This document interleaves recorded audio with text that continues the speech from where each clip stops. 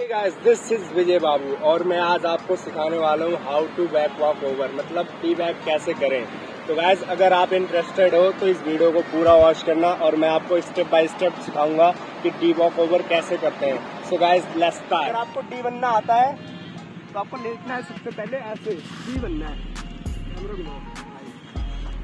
और आपको स्ट्रेच करनी है अपनी बॉडी ऐसे। ओके गाइस तो हो गया फ़र्स्ट स्टेप आपका, ठीक है?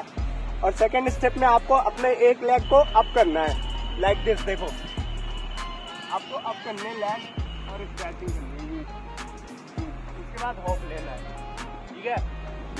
ये हो गया आपका सेकेंड स्टेप अब थर्ड स्टेप में क्या है? One two and leg